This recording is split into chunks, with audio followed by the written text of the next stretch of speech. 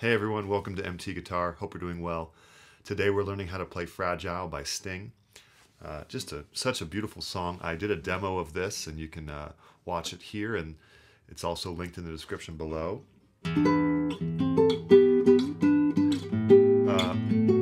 but I was really taken taken aback by the beauty of this song and of the guitar part.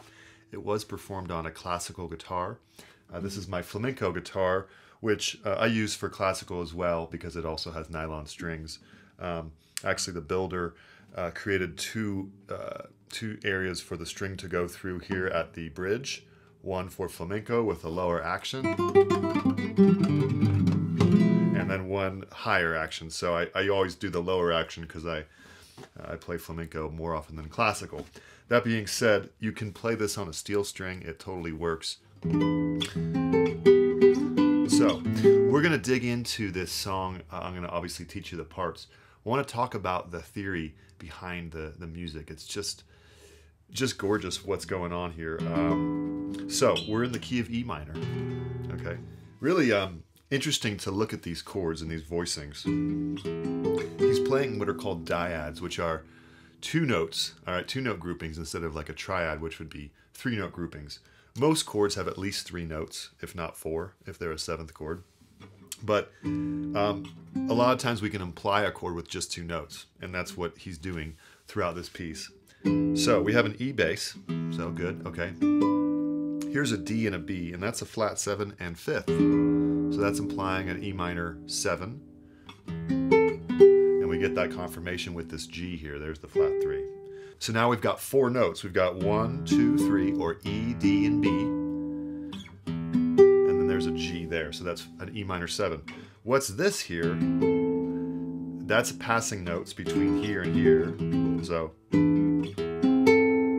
but really it's also an A minor over E because there is uh, an A and a C, and that's that's basically an A minor at the beginning of an A minor right there over an E bass. So.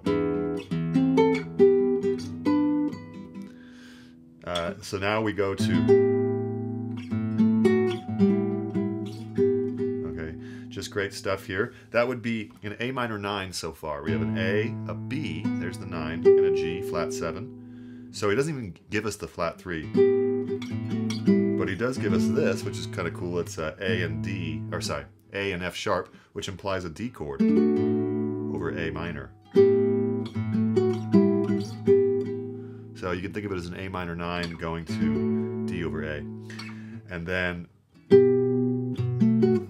this is a B7, but he starts with an E minor sort of shape here over B. Then three notes of a B7 without the third. Back to E minor to B7 here. And then E minor. So that's just truly masterful crafting because in a wonderful way we're sort of maneuvering around the chord tones in and out of them and we're using passing chords that are acting as you know um, sort of tension and release points right? Tension release. Tension release. This whole chord is tense especially that and then a little resolve but uh, it's called an appoggiatura i believe when we delay the resolution. And Sting listens to a lot of classical, right? And, and a lot of um, beautiful uh, virtuosic musicians, including Bach, including Yo Yo Ma. This song was released on Nothing Like the Sun in 1988. And uh, there's some truly cool versions of this song we're going to listen to. Stick around for that. First, let's zoom in, learn the song, and then I want to zoom back out for some reactions. So I hope you stick around for that because I'm going to listen to the version he played at the Olympics in 2002 with Yo Yo Ma, just for a minute or two, and then also the Stevie Wonder version just knocks me out. I mean, it's Sting was very smart to just let um, Stevie Wonder just sing the entire song, and Sting just sang background. Um, and you can see Sting is just glowing with a smile on his face. I mean, it's it's a wonderful rendition. So stick around for that. But why don't we jump into this uh, lesson and sort of zoom in? There is a tab for this on the Patreon, which it's a great way to support the channel. And thanks to those who are already patrons, and thanks to those who are subscribed.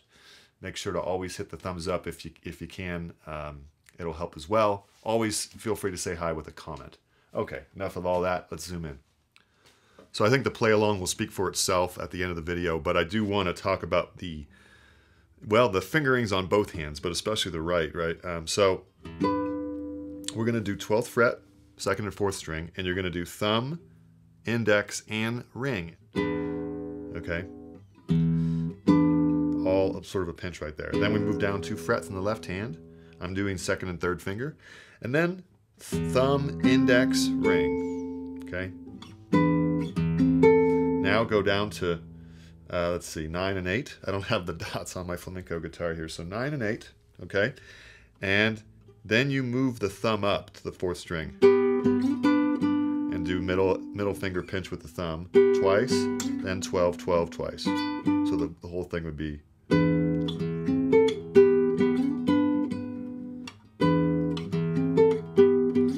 Okay, we do a similar thing with the right hand, actually identical, but now we have right there, fifth string, okay, all pinched, or you can roll it like that if you want, but pinch. Then, same thing, bass, index, ring on the 7 and 7th fret, down two frets. Now move your thumb up and do 4th and 2nd string twice, back to original position twice. So that would be Now the thumb moving up is tricky, but that's what Sting does live and on the studio recording, and it really adds a nice oomph to that to that fourth string, right? So worth the getting. I had to kind of work at it for a while. Now, same right hand pattern, but we do E minor over B for a sec before going to a B7 kind of shape. So sixth, fourth, and second. Go to go ahead and go to you know eighth fret and ninth fret with barring the seventh fret, and you pinch them all. Six, four, two. Now, Sting bars it, but I'm, I do this first and second fingers on the fifth and fifth frets, all on the you know G and B strings here. Twice, down a fret twice. Again, thumb and middle finger. Now uh, I'm going to second and third finger for an E minor nine kind of thing, and you pinch down six four two to five five. Uh, sorry, whoops and then thumb up to fourth string and go to, uh, let's see, nine and eight. Okay, so.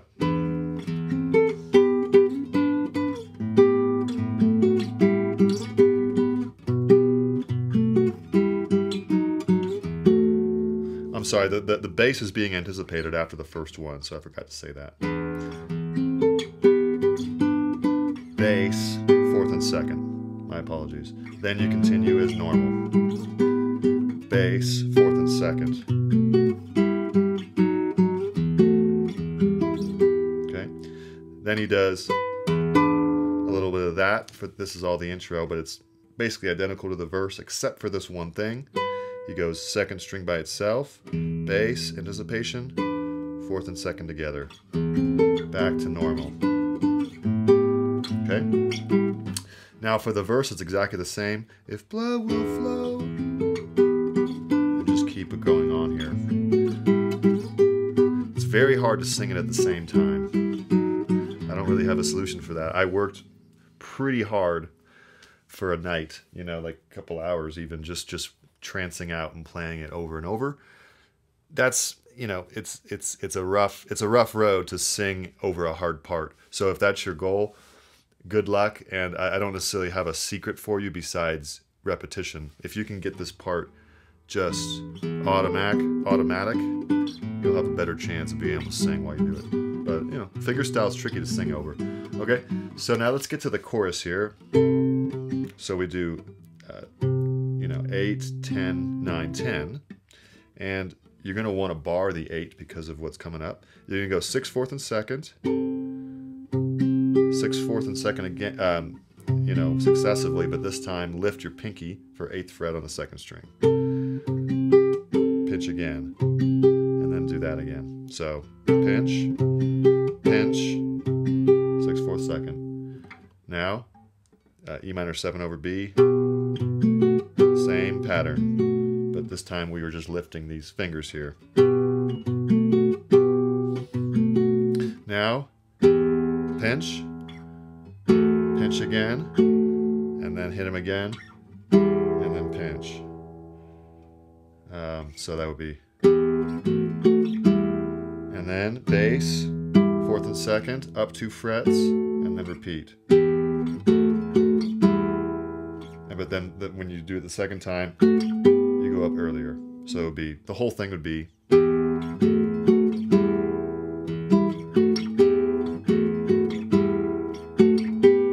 Like that. Then, oops.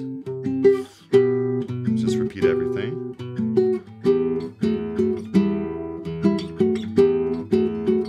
Okay, we made it to the solo. Now, uh, it sounds beautiful even without chords backing it, but you could play along with the song to get, you know, the chords behind it. But we're just going to do it here together without any chords behind it. Okay, so five, seven, five, seven. And then repeat that phrase. This time go up to eight, slide to ten, seven, ten. Now, eight with the pinky, five, seven, eight, five, seven. So that would be. And then five, four. Now a little run here. Five, seven, eight.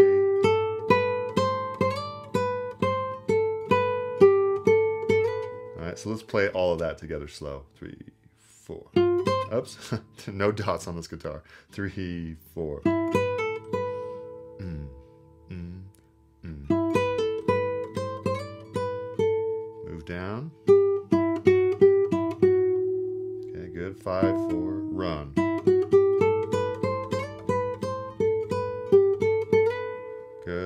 It again.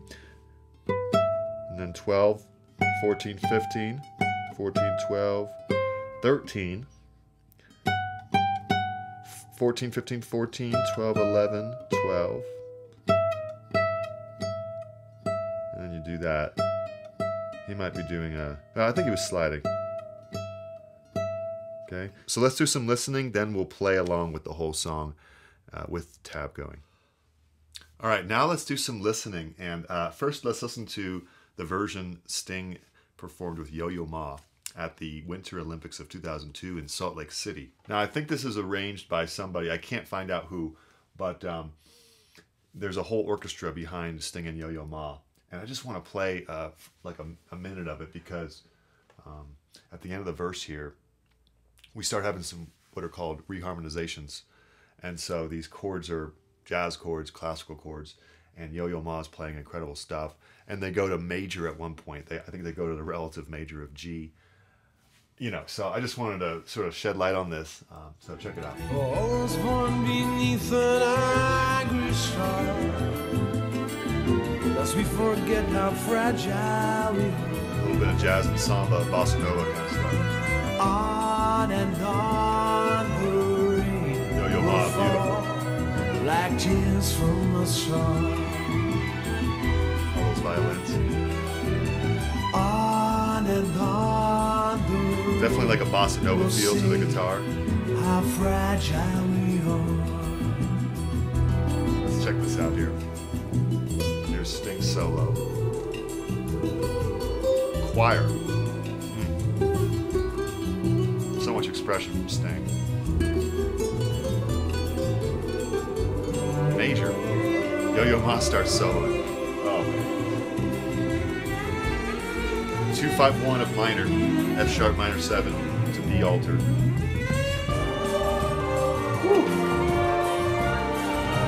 went to they went up a minor third to G minor. Modulated up.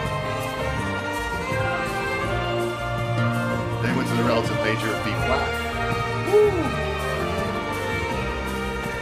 So everyone should check this out. Let's listen to a little.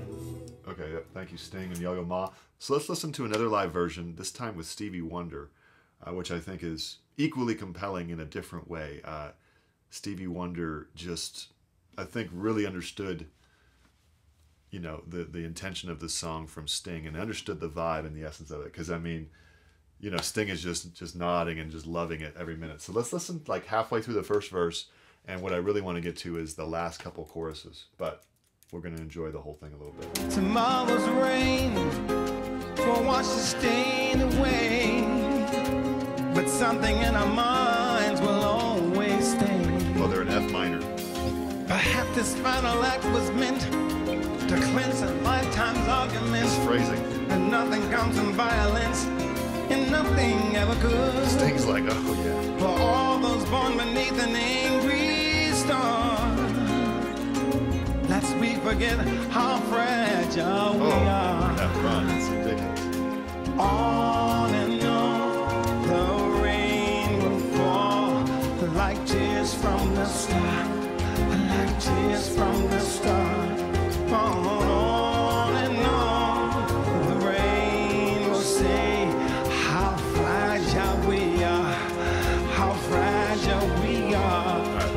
Solo.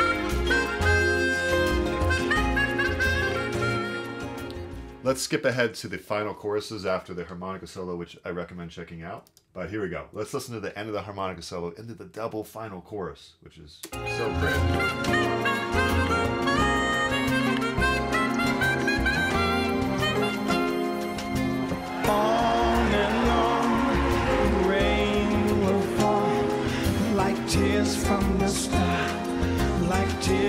Star.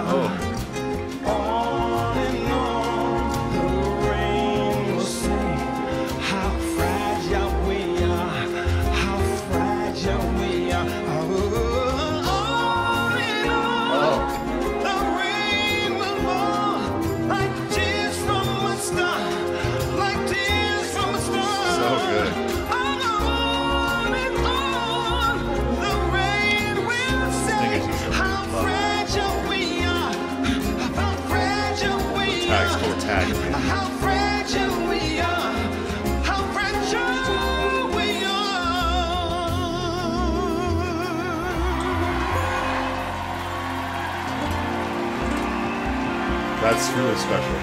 Um,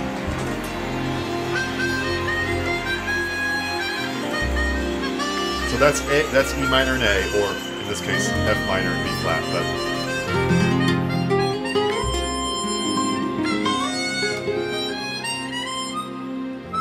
That's mine. But anyway, wow. So, so let's go ahead and now play along with this song with a tab above me. And uh, I just wanted to sort of shed light on these versions and on the theory a little bit. So I hope you enjoy. Let me know if that's uh, something you enjoy in the comments below. And let's go ahead and play this song.